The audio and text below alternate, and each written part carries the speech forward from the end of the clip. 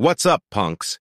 It is said that during a meeting between Winston Churchill and Lady Nancy Astor, the first female member of the British Parliament, the two got into an argument.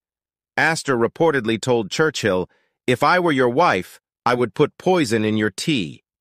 Churchill, known for his quick wit, retorted, Nancy, if I were your husband, I would drink it. The exchange has since become a classic example of Churchill's legendary wit and sense of humor. Thanks for watching, punks.